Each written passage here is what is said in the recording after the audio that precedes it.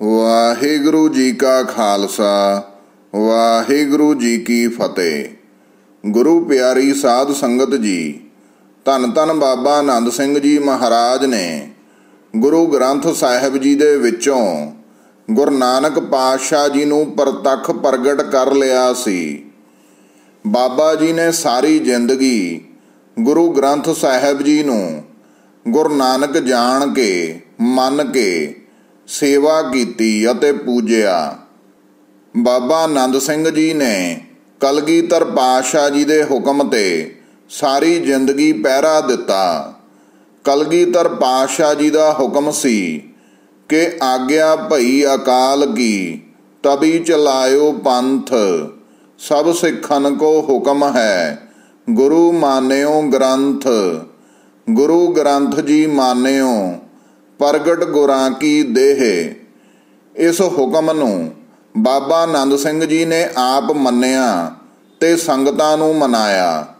ਜੇ ਬਾਬਾ ਆਨੰਦ ਸਿੰਘ ਜੀ ਨਾ ਆਉਂਦੇ, ਤਾਂ ਦੁਨੀਆ ਨੇ ਗੁਰੂ ਗ੍ਰੰਥ ਸਾਹਿਬ ਜੀ ਦਾ ਇੰਨਾ ਆਦਰ ਸਤਕਾਰ ਨਹੀਂ ਕਰਨਾ ਸੀ।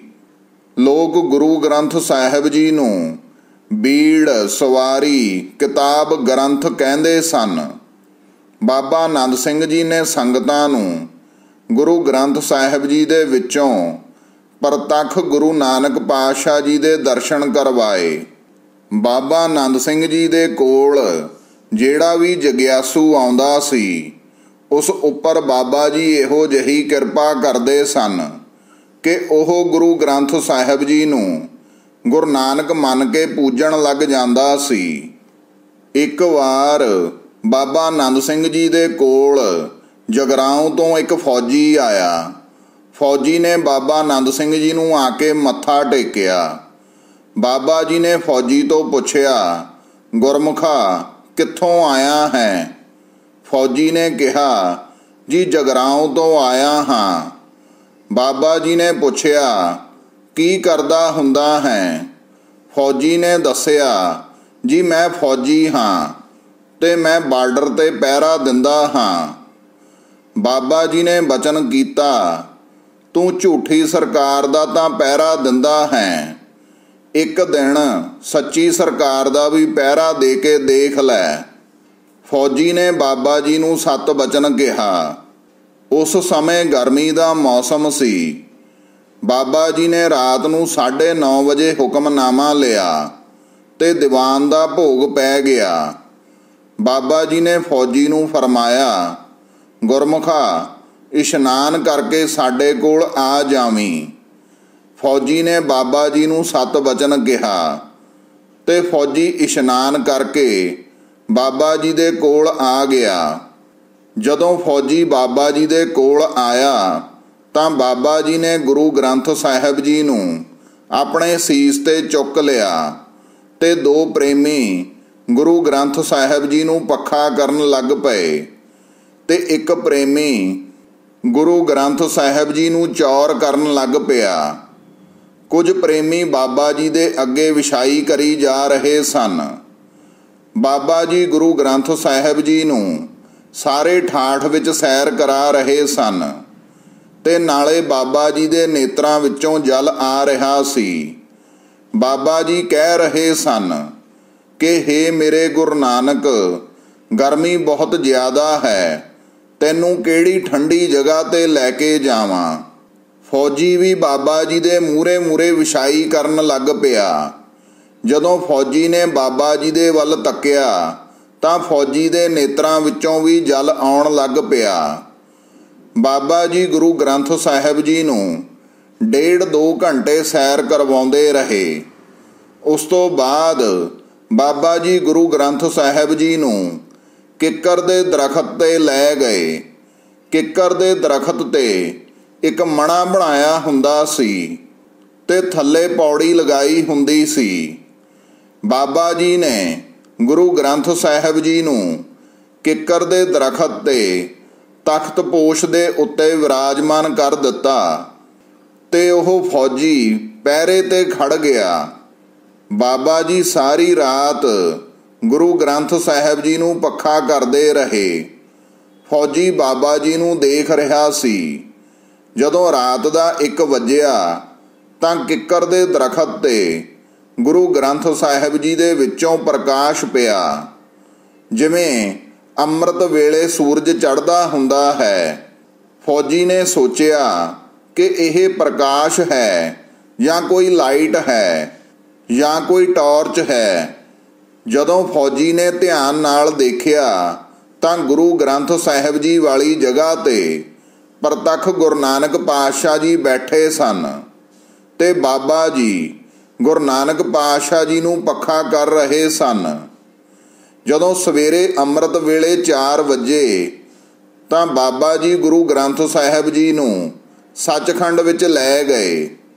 ਬਾਬਾ ਜੀ ਨੇ ਇਸ਼ਨਾਨ ਕੀਤਾ ਤੇ ਉਸ ਤੋਂ ਬਾਅਦ ਬਾਬਾ ਜੀ ਨੇ ਗੁਰੂ ਗ੍ਰੰਥ ਸਾਹਿਬ ਜੀ ਪ੍ਰਕਾਸ਼ ਕੀਤੇ। ਸੱਚਖੰਡ ਦੇ ਅੱਗੇ ਚਿੱਟੇ ਰੰਗ ਦਾ ਪਰਦਾ ਲੱਗਿਆ ਹੋਇਆ ਸੀ। ਬਾਬਾ ਜੀ ਫੇਰ ਗੁਰੂ ਗ੍ਰੰਥ ਸਾਹਿਬ ਜੀ ਨੂੰ ਪੱਖਾ ਕਰਨ ਲੱਗ ਪਏ। ਫੌਜੀ ਬਾਹਰ ਪਹਿਰੇ ਤੇ ਖੜਾ ਸੀ ਤੇ ਆਸਾ ਜੀ ਦੀ ਵਾਰ ਦਾ ਕੀਰਤਨ ਹੋ ਰਿਹਾ ਸੀ।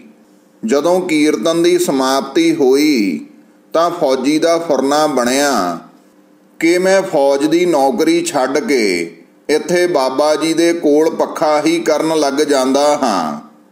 ਪਰ ਬਾਬਾ ਜੀ ਨੇ ਫੌਜੀ ਨੂੰ ਪ੍ਰਸ਼ਾਦ ਦੇ ਕੇ ਬਚਨ ਕੀਤਾ ਕਿ, ਗੁਰਮਖਾ, ਹਜੇ ਸਮਾਂ ਰਹਿੰਦਾ ਹੈ।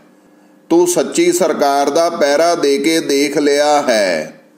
ਫੌਜੀ ਨੂੰ ਪਹਿਰਾ ਦੇ ਕੇ ਇੰਨਾ ਆਨੰਦ ਆਇਆ ਕਿ ਉਹ ਆਪਣਾ ਘਰ-ਬਾਰ ਹੀ ਭੁੱਲ ਗਿਆ। ਉਹ ਫੌਜੀ ਆਪਣੀ ਫੌਜ ਦੀ ਡਿਊਟੀ ਤੇ ਵਾਪਸ ਚਲਿਆ ਗਿਆ। ਫੌਜ ਵਾਲੀ ਜਗ੍ਹਾ ਤੇ ਵੀ ਗੁਰੂ ਗ੍ਰੰਥ ਸਾਹਿਬ ਜੀ ਨੂੰ ਕਮਰੇ ਵਿੱਚ ਵਿਰਾਜਮਾਨ ਕੀਤਾ ਹੋਇਆ ਸੀ। ਉਹ ਫੌਜੀ ਫੌਜ ਵਿੱਚ ਜਾ ਕੇ ਗੁਰੂ ਗ੍ਰੰਥ ਸਾਹਿਬ ਜੀ ਨੂੰ ਪੱਖਾ ਕਰਨ ਲੱਗ ਪਿਆ। ਉਸ ਫੌਜੀ ਨੂੰ ਕਰਨਲ ਤੇ ਹੋਰ ਅਫਸਰ ਕਹਿਣ ਲੱਗੇ ਕਿ ਤੂੰ ਕਮਲਾ ਹੋਇਆ ਹੈ। ਤੂੰ ਇਹ ਕੀ ਕਰ ਰਿਹਾ ਹੈ? ਫੌਜੀ ਨੇ ਕਿਹਾ, ਸਾਡੇ ਮਾਲਵੇ ਦੇ ਵਿੱਚ ਇੱਕ ਮਹਾਪੁਰਖ ਹਨ। ਉਹ ਹਜੂਰ ਸਾਹਿਬ ਸੇਵਾ ਕਰਕੇ ਆਏ ਹਨ। ਉਹ ਮਹਾਪੁਰਖ ਗੁਰੂ ਗ੍ਰੰਥ ਸਾਹਿਬ ਜੀ ਨੂੰ ਪੱਖਾ ਕਰਦੇ ਹਨ। ਫੌਜੀ ਨੇ ਕਿਹਾ, ਉਹ ਮਹਾਪੁਰਖ ਕਹਿੰਦੇ ਹਨ ਕਿ ਗੁਰੂ ਗ੍ਰੰਥ ਸਾਹਿਬ ਜੀ ਨਾ ਕੋਈ ਬੀੜ ਹਨ, ਨਾ ਕੋਈ ਸਵਾਰੀ ਹਨ, ਨਾ ਹੀ ਕੋਈ ਗ੍ਰੰਥ ਹਨ। ਇਹ ਤਾਂ ਗੁਰੂ ਨਾਨਕ ਸਰੂਪ ਹਨ। ਉਹ ਮਹਾਪੁਰਖ ਕਹਿੰਦੇ ਹਨ ਕਿ ਮੇਰੀ ਜੀਬ ਜਲ ਜਾਵੇ, ਜੇ ਗੁਰੂ ਗ੍ਰੰਥ ਸਾਹਿਬ ਜੀ ਗੁਰੂ ਨਾਨਕ ਨਹੀਂ ਹਨ, ਤਾਂ ਦੱਸੋ ਫੇਰ ਕੀ ਹਨ? ਇਹ ਗੁਰੂ ਗ੍ਰੰਥ ਸਾਹਿਬ ਜੀ ਪ੍ਰਗਟ ਗੁਰਾਂ ਕੀ ਦੇਹ ਹਨ? ਜਦੋਂ ਉਹ ਫੌਜੀ ਫੌਜ ਦੇ ਵਿੱਚ ਹਰ ਰੋਜ਼ ਗੁਰੂ ਗ੍ਰੰਥ ਸਾਹਿਬ ਜੀ ਨੂੰ ਪੱਖਾ ਕਰਨ ਲੱਗ ਪਿਆ, ਤਾਂ ਫੌਜੀ ਦੇ ਪੈਰਾਂ ਤੇ ਸੋਜਾ ਆਉਣ ਲੱਗ ਪਿਆ। ਉਸ ਫੌਜੀ ਨੂੰ ਦੇਖ ਕੇ ਦੂਸਰੇ ਫੌਜੀ ਵੀ ਗੁਰੂ ਗ੍ਰੰਥ ਸਾਹਿਬ ਜੀ ਨੂੰ ਪੱਖਾ ਕਰਨ ਲੱਗ ਪਏ। ਫੌਜ ਦੇ ਅਫਸਰਾਂ ਨੇ ਸਲਾਹ ਕੀਤੀ ਤੇ ਉਹਨਾਂ ਨੇ ਫੌਜੀ ਨੂੰ ਕਿਹਾ, ਕਿ ਤੂੰ ਰਫਲ ਸਾਨੂੰ ਦੇ ਦੇ, ਤੇਰੀ ਅਸੀਂ ਸੇਵਾ ਪੱਕੀ ਹੀ ਲਾ ਦਿੱਤੀ ਹੈ। ਤੂੰ ਸਿਰਫ ਗੁਰੂ ਗ੍ਰੰਥ ਸਾਹਿਬ ਜੀ ਨੂੰ ਪੱਖਾ ਹੀ ਕਰਨਾ ਹੈ। ਉਸ ਫੌਜੀ ਨੇ ਚਿੱਟਾ ਚੋਲਾ ਪਾ ਲਿਆ ਤੇ ਚਿੱਟੀ ਗੋਲ ਦਸਤਾਰ ਬੰਨ ਲਈ। ਜਦੋਂ ਉਹ ਫੌਜੀ ਸੇਵਾ ਕਰਕੇ ਗੁਰੂ ਸਾਹਿਬਾਂ ਦੇ ਕਮਰੇ ਤੋਂ ਬਾਹਰ ਆਇਆ ਕਰਦਾ ਸੀ, ਤਾਂ ਫੌਜ ਦੇ ਸਾਰੇ ਬੰਦੇ ਉਸ ਫੌਜੀ ਨੂੰ ਮੱਥਾ ਟੇਕਣ ਲੱਗ ਪਏ। ਇੱਕ ਸਾਲ ਬਾਅਦ ਉਹ ਫੌਜੀ ਛੁੱਟੀ ਤੇ ਆਪਣੇ ਘਰ ਵਾਪਸ ਆਇਆ। ਉਸ ਸਮੇਂ ਗਰਮੀ ਦਾ ਮੌਸਮ ਸੀ। ਉਸ ਫੌਜੀ ਨੇ ਆਪਣੀ ਘਰਵਾਲੀ ਨੂੰ ਕਿਹਾ ਕਿ ਮੈਂ ਬਾਬਾ ਜੀ ਦੇ ਕੋਲ ਜਾ ਕੇ ਆਉਣਾ ਹੈ। ਘਰਵਾਲੀ ਨੇ ਕਿਹਾ ਕਿ ਅੱਗੇ ਜਦੋਂ ਤੂੰ ਬਾਬਾ ਜੀ ਦੇ ਕੋਲ ਗਿਆ ਸੀ, ਤਾਂ ਤੂੰ ਉੱਥੇ ਪਹਿਰਾ ਲਗਾ ਕੇ ਆਇਆ ਸੀ, ਤਾਂ ਤੇਰੀਆਂ ਲੱਤਾਂ ਤੇ ਬਹੁਤ ਮੱਛਰ ਲੜ ਗਿਆ ਸੀ। ਜੇ ਹੁਣ ਵੀ ਤੈਨੂੰ ਬਾਬਾ ਜੀ ਨੇ ਪਹਿਰਾ ਦੇਣ ਲਈ ਕਹਿ ਦਿੱਤਾ, ਤਾਂ ਤੇਰੇ ਫੇਰ ਮੱਛਰ ਲੜੇਗਾ। ਇਸ ਲਈ ਤੂੰ ਮੱਛਰਦਾਨੀ ਲੈ ਕੇ ਜਾਵੀਂ। ਉਸ ਫੌਜੀ ਨੇ ਨਵੀਂ ਵਧੀਆ ਫੌਜੀਆਂ ਵਾਲੀ ਮੱਛਰਦਾਨੀ ਆਪਣੇ ਝੋਲੇ ਦੇ ਵਿੱਚ ਪਾ ਲਈ ਤੇ ਨਾਨਕਸਰ ਨੂੰ ਤੁਰ ਪਿਆ। ਫੌਜੀ ਰਾਸਤੇ ਵਿੱਚ ਜਾਂਦਾ ਹੋਇਆ ਆਪਣੇ ਮਨ ਵਿੱਚ ਸੋਚ ਰਿਹਾ ਸੀ ਕਿ ਬਾਬਾ ਜੀ ਦੇ ਕੋਲ ਗਏ ਨੂੰ ਮੈਨੂੰ 1 ਸਾਲ ਹੋ ਗਿਆ ਹੈ। ਬਾਬਾ ਜੀ ਤਾਂ ਨੇਤਰ ਬੰਦ ਕਰਕੇ ਸਮਾਧੀ ਵਿੱਚ ਰਹਿੰਦੇ ਹਨ। ਬਾਬਾ ਜੀ ਨੇ ਮੈਨੂੰ ਕਿੱਥੇ ਪਹਿਚਾਨਣਾ ਹੈ? ਫੌਜੀ ਨਾਨਕਸਰ ਠਾਠ ਵਿੱਚ ਪਹੁੰਚ ਗਿਆ ਤੇ ਨਾਨਕਸਰ ਠਾਠ ਵਿੱਚ ਪੂਰਨਮਾਸੀ ਦਾ ਦੀਵਾਨ ਸਜਿਆ ਹੋਇਆ ਸੀ। ਬਾਬਾ ਜੀ ਬੈਰਾਗਣ ਲਗਾ ਕੇ ਸਮਾਧੀ ਵਿੱਚ ਬੈਠੇ ਸਨ। ਸੰਗਤ ਬਹੁਤ ਜ਼ਿਆਦਾ ਸੀ। ਉਸ ਫੌਜੀ ਨੇ ਆਪਣਾ ਮੱਛਰਦਾਨੀ ਵਾਲਾ ਝੋਲਾ ਪਿੱਛੇ ਹੀ ਰੱਖ ਦਿੱਤਾ। ਉਸ ਫੌਜੀ ਨੇ ਗੁਰੂ ਗ੍ਰੰਥ ਸਾਹਿਬ ਜੀ ਨੂੰ ਮੱਥਾ ਟੇਕਿਆ ਤੇ ਫਿਰ ਪਾਸੇ ਦੀ ਹੋ ਕੇ ਬਾਬਾ ਜੀ ਨੂੰ ਵੀ ਮੱਥਾ ਟੇਕਿਆ। ਜਦੋਂ ਫੌਜੀ ਨੇ ਮੱਥਾ ਟੇਕ ਕੇ ਆਪਣਾ ਸਿਰ ਉੱਪਰ ਚੁੱਕਿਆ ਤਾਂ ਬਾਬਾ ਜੀ ਨੇ ਆਪਣਾ ਮੁਖ ਫੌਜੀ ਵੱਲ ਕਰਕੇ ਬਚਨ ਕੀਤਾ, ਕਿ ਜਗਰਾਵਾਂ ਵਾਲਾ ਫੌਜੀ ਹੈ। ਇਹ ਬਚਨ ਸੁਣ ਕੇ ਉਸ ਫੌਜੀ ਦੀਆਂ ਅੱਖਾਂ ਵਿੱਚੋਂ ਜਲ ਆ ਗਿਆ। ਉਸ ਫੌਜੀ ਨੇ ਬਾਬਾ ਜੀ ਦੇ ਕੋਲ ਜਾ ਕੇ ਮੱਥਾ ਟੇਕਿਆ ਤੇ ਬਾਬਾ ਜੀ ਨੇ ਕਿਹਾ, ਜਗਰਾਵਾਂ ਵਾਲਾ ਫੌਜੀ ਹੈ। ਫੌਜੀ ਨੇ ਕਿਹਾ, ਹਾਂਜੀ ਬਾਬਾ ਜੀ, ਮੈਂ ਜਗਰਾਵਾਂ ਵਾਲਾ ਫੌਜੀ ਹਾਂ। ਬਾਬਾ ਜੀ ਨੇ ਪੁੱਛਿਆ ਛੁੱਟੀ ਆਇਆ ਹੈ ਫੌਜੀ ਨੇ ਕਿਹਾ ਹਾਂਜੀ ਬਾਬਾ ਜੀ ਛੁੱਟੀ ਆਇਆ ਹਾਂ ਬਾਬਾ ਜੀ ਨੇ ਫਰਮਾਇਆ ਫਿਰ ਅੱਜ ਪਹਿਰਾ ਦੇਵੇਂਗਾ ਫੌਜੀ ਨੇ ਕਿਹਾ ਬਾਬਾ ਜੀ ਮੇਰਾ ਤਾਂ ਮਨ ਕਰਦਾ ਹੈ ਕਿ ਮੈਂ ਸਾਰੀ ਉਮਰ ਹੀ ਪਹਿਰਾ ਦੇਵਾਂ ਫੌਜੀ ਨੇ ਕਿਹਾ ਹਾਂਜੀ ਬਾਬਾ ਜੀ ਅੱਜ ਮੈਂ ਪਹਿਰਾ ਦੇਵਾਂਗਾ ਬਾਬਾ ਜੀ ਨੇ ਫਰਮਾਇਆ, ਕਿਵੇਂ ਪਹਿਰਾ ਦੇਵੇਂਗਾ? ਫੌਜੀ ਨੇ ਕਿਹਾ, ਜੀ ਖੜ ਕੇ ਪਹਿਰਾ ਦੇਵਾਂਗਾ। ਬਾਬਾ ਜੀ ਨੇ ਫਰਮਾਇਆ, ਹੋਰ ਕਿਵੇਂ ਪਹਿਰਾ ਦੇਵੇਂਗਾ? ਫੌਜੀ ਨੇ ਕਿਹਾ, ਜੀ ਡਟ ਕੇ ਪਹਿਰਾ ਦੇਵਾਂਗਾ। ਬਾਬਾ ਜੀ ਮਿੰਟ ਕੋ ਚੁੱਪ ਕਰ ਗਏ। ਬਾਬਾ ਜੀ ਨੇ ਫੌਜੀ ਨੂੰ ਕਿਹਾ, ਕਿ ਦੇਣੇ ਪਹਿਰੇ ਤੇ ਲਾਉਣੀਆਂ ਮੱਛਰਦਾਨੀਆਂ।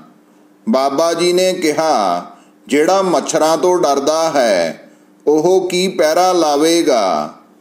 ਇਹ ਬਚਨ ਸੁਣ ਕੇ ਫੌਜੀ ਰੋਣ ਲੱਗ ਪਿਆ। ਫੌਜੀ ਪਿੱਛੇ ਜਾ ਕੇ ਮੱਛਰਦਾਨੀ ਵਾਲਾ ਝੋਲਾ ਚੁੱਕ ਕੇ ਲੈ ਆਇਆ ਤੇ ਬਾਬਾ ਜੀ ਦੇ ਕੋਲ ਰੱਖ ਦਿੱਤਾ। ਫੌਜੀ ਨੇ ਕਿਹਾ, ਬਾਬਾ ਜੀ, ਮੈਂ ਮੱਛਰਦਾਨੀ ਨਹੀਂ ਲਾਉਣੀ। ਇਹ ਮੱਛਰਦਾਨੀ ਨਵੀਂ ਹੈ। ਇਹ ਮੱਛਰਦਾਨੀ ਤੁਸੀਂ ਲਾ ਲਿਓ।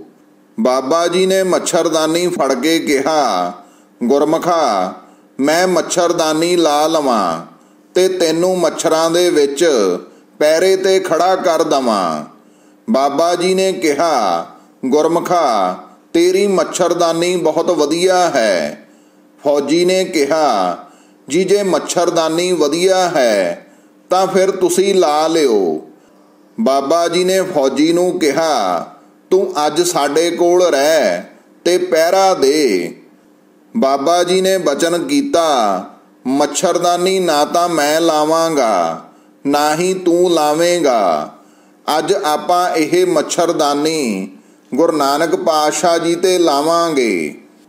ਬਾਬਾ ਜੀ 9:30 ਵਜੇ ਤੋਂ ਬਾਅਦ ਗੁਰੂ ਗ੍ਰੰਥ ਸਾਹਿਬ ਜੀ ਨੂੰ ਕਿੱਕਰ ਦੇ ਦਰਖਤ ਤੇ ਮਣੇ ਤੇ ਲੈ ਗਏ। ਬਾਬਾ ਜੀ ਨੇ ਫੌਜੀ ਨੂੰ ਕਿਹਾ, ਗੁਰਮਖਾ, ਇਸ਼ਨਾਨ ਕਰਕੇ ਮੁਖ ਤੇ ਪਰਨਾ ਲੈ ਕੇ ਸਾਡੇ ਕੋਲ ਆ ਜਾਵੀਂ। ਉਹ ਫੌਜੀ ਇਸ਼ਨਾਨ ਕਰਕੇ ਮੁਖ ਤੇ ਪਰਨਾ ਲੈ ਕੇ ਬਾਬਾ ਜੀ ਦੇ ਕੋਲ ਆ ਗਿਆ। ਜਦੋਂ ਫੌਜੀ ਬਾਬਾ ਜੀ ਦੇ ਕੋਲ ਆਇਆ, ਤਾਂ ਬਾਬਾ ਜੀ ਨੇ ਫੌਜੀ ਨੂੰ ਕਿਹਾ ਕਿ ਗੁਰੂ ਗ੍ਰੰਥ ਸਾਹਿਬ ਜੀ ਤੇ ਮੱਛਰਦਾਨੀ ਲਾ ਦੇ। ਫੌਜੀ ਨੇ ਗੁਰੂ ਗ੍ਰੰਥ ਸਾਹਿਬ ਜੀ ਤੇ ਮੱਛਰਦਾਨੀ ਲਾ ਦਿੱਤੀ ਤੇ ਮੱਛਰਦਾਨੀ ਦੇ ਤਿੰਨ ਪਾਸੇ ਬੰਦ ਕਰ ਦਿੱਤੇ ਤੇ ਇੱਕ ਪਾਸਾ ਖੁੱਲਾ ਰੱਖ ਦਿੱਤਾ। ਫੌਜੀ ਨੇ ਸੋਚਿਆ ਕਿ ਬਾਬਾ ਜੀ ਮੱਛਰਦਾਨੀ ਦੇ ਅੰਦਰ ਖੜ ਕੇ ਪੱਖਾ ਕਰਨਗੇ। ਬਾਬਾ ਜੀ ਨੇ ਫੌਜੀ ਨੂੰ ਕਿਹਾ ਕਿ ਇਹ ਚੌਥਾ ਪਾਸਾ ਵੀ ਬੰਦ ਕਰ ਦੇ। ਇੱਥੋਂ ਅੰਦਰ ਮੱਛਰ ਜਾਵੇਗਾ। ਫੌਜੀ ਨੇ ਬਾਬਾ ਜੀ ਨੂੰ ਸਤ ਬਚਨ ਕਿਹਾ ਤੇ ਉਹ ਚੌਥਾ ਪਾਸਾ ਵੀ ਬੰਦ ਕਰ ਦਿੱਤਾ। ਫੇਰ ਫੌਜੀ ਪਹਿਰੇ ਤੇ ਖੜ ਗਿਆ। ਬਾਬਾ ਜੀ ਸਾਰੀ ਰਾਤ ਗੁਰੂ ਗ੍ਰੰਥ ਸਾਹਿਬ ਜੀ ਨੂੰ ਮੱਛਰਦਾਨੀ ਦੇ ਉੱਤੋਂ ਦੀ ਪੱਖਾ ਕਰਦੇ ਰਹੇ। ਉਸ ਫੌਜੀ ਨੂੰ ਰਾਤ ਨੂੰ 1 ਵਜੇ ਉਸੇ ਤਰ੍ਹਾਂ ਗੁਰੂ ਗ੍ਰੰਥ ਸਾਹਿਬ ਜੀ ਵਾਲੀ ਜਗ੍ਹਾ ਤੋਂ ਪ੍ਰਕਾਸ਼ ਨਿਕਲਦਾ ਹੋਇਆ ਨਜ਼ਰ ਆਇਆ। ਜਦੋਂ ਫੌਜੀ ਨੇ ਦੇਖਿਆ, ਤਾਂ ਫੇਰ ਗੁਰੂ ਨਾਨਕ ਪਾਤਸ਼ਾਹ ਜੀ ਪ੍ਰਤੱਖ ਗੁਰੂ ਗ੍ਰੰਥ ਸਾਹਿਬ ਜੀ ਵਾਲੀ ਜਗ੍ਹਾ ਤੇ ਮੱਛਰਦਾਨੀ ਦੇ ਵਿੱਚ ਬੈਠੇ ਸਨ ਤੇ ਬਾਬਾ ਆਨੰਦ ਸਿੰਘ ਜੀ ਮੱਛਰਦਾਨੀ ਦੇ ਉੱਪਰੋਂ ਦੀ ਗੁਰੂ ਨਾਨਕ ਪਾਤਸ਼ਾਹ ਜੀ ਨੂੰ ਪੱਖਾ ਕਰ ਰਹੇ ਸਨ। ਉਸ ਫੌਜੀ ਨੇ ਦੂਸਰੀ ਵਾਰ ਫੇਰ ਗੁਰੂ ਨਾਨਕ ਪਾਤਸ਼ਾਹ ਜੀ ਦੇ ਪ੍ਰਤੱਖ ਦਰਸ਼ਨ ਕੀਤੇ। ਜਦੋਂ ਸਵੇਰੇ ਸਾਰੀ ਸਮਾਪਤੀ ਹੋਈ, ਤਾਂ ਫਿਰ ਬਾਬਾ ਜੀ ਨੇ ਉਸ ਫੌਜੀ ਨੂੰ ਪ੍ਰਸ਼ਾਦ ਦੇ ਕੇ ਬਚਨ ਕੀਤਾ ਕਿ, ਗੁਰਮਖਾ, ਤੇਰੇ ਤੇ ਗੁਰੂ ਨਾਨਕ ਪਾਤਸ਼ਾਹ ਜੀ ਦੀ ਮਿਹਰ ਹੋ ਗਈ ਹੈ। ਹੁਣ ਤੈਨੂੰ ਫੌਜ ਦੇ ਵਿੱਚ ਉਹਨਾਂ ਨੇ ਗੁਰੂ ਗ੍ਰੰਥ ਸਾਹਿਬ ਜੀ ਦੀ ਸੇਵਾ ਦੀ ਡਿਊਟੀ ਲਗਾ ਦਿੱਤੀ ਹੈ। ਤੂੰ ਫੌਜ ਦੇ ਵਿੱਚ ਰਹਿ ਕੇ ਗੁਰੂ ਗ੍ਰੰਥ ਸਾਹਿਬ ਜੀ ਨੂੰ ਪੱਖਾ ਕਰਿਆ ਕਰ ਤੇ ਸਾਰੀ ਸੇਵਾ ਕਰਿਆ ਕਰ। ਇਹ ਸੁਣ ਕੇ ਉਹ ਫੌਜੀ ਬੜਾ ਹੀ ਹੈਰਾਨ ਹੋਇਆ। ਉਸਨੇ ਸੋਚਿਆ ਕਿ ਹਜੇ ਤਾਂ ਮੈਂ ਬਾਬਾ ਜੀ ਨੂੰ ਦੱਸਣਾ ਸੀ ਕਿ ਮੈਨੂੰ ਫੌਜ ਦੇ ਵਿੱਚ ਗੁਰੂ ਗ੍ਰੰਥ ਸਾਹਿਬ ਜੀ ਦੀ ਸੇਵਾ ਕਰਨ ਦੀ ਡਿਊਟੀ ਮਿਲ ਗਈ ਹੈ। ਪਰ ਬਾਬਾ ਜੀ ਤਾਂ ਜਾਣੀ ਜਾਣ ਹਨ। ਫਿਰ ਉਹ ਫੌਜੀ, ਫੌਜ ਦੇ ਵਿੱਚ ਗੁਰੂ ਗ੍ਰੰਥ ਸਾਹਿਬ ਜੀ ਦੀ ਸੇਵਾ ਕਰਦਾ ਰਿਹਾ ਤੇ ਬਾਬਾ ਜੀ ਦੇ ਕੋਲ ਸਾਰੀ ਜ਼ਿੰਦਗੀ ਹਾਜ਼ਰੀ ਭਰਦਾ ਰਿਹਾ। ਜਦੋਂ ਉਹ ਫੌਜੀ, ਫੌਜ ਦੇ ਵਿੱਚੋਂ ਰਿਟਾਇਰ ਹੋਇਆ, ਤਾਂ ਉਸ ਤੋਂ ਬਾਅਦ ਉਹ ਬਾਬਾ ਜੀ ਦੀ ਸੇਵਾ ਵਿੱਚ ਪੱਕਾ ਹੀ ਆ ਗਿਆ। ਉਸਨੇ ਸਾਰੀ ਜ਼ਿੰਦਗੀ ਬਾਬਾ ਜੀ ਦੀ ਸੇਵਾ ਅਤੇ ਸੰਗਤ ਕੀਤੀ। ਇਸ ਤਰ੍ਹਾਂ ਬਾਬਾ ਆਨੰਦ ਸਿੰਘ ਜੀ ਹਰੇਕ ਜਗਿਆਸੂ ਨੂੰ ਗੁਰੂ ਗ੍ਰੰਥ ਸਾਹਿਬ ਜੀ ਦੇ ਨਾਲ ਜੋੜ ਦਿੰਦੇ ਸਨ। ਬਾਬਾ ਜੀ ਜਗਿਆਸੂ ਨੂੰ ਆਪਣੇ ਨਾਲ ਨਹੀਂ ਜੋੜਦੇ ਸਨ। ਇਸੇ ਕਰਕੇ ਅੱਜ ਸਾਰੀ ਦੁਨੀਆ ਵਿੱਚ ਬਾਬਾ ਆਨੰਦ ਸਿੰਘ ਜੀ ਦੀ ਜੈ ਜੈਕਾਰ ਹੋ ਰਹੀ ਹੈ। ਵਾਹਿਗੁਰੂ ਜੀ ਕਾ ਖਾਲਸਾ ਵਾਹਿਗੁਰੂ ਜੀ ਕੀ ਫਤਿਹ।